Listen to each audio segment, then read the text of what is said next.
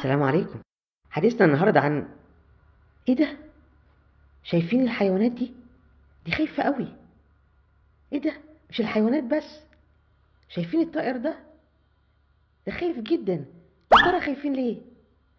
آه عشان الولاد متخذينهم هدف للرماية. الولاد بيتعلموا الرماية على الحيوانات دي وعلى الطائر ده. ما سمعوش؟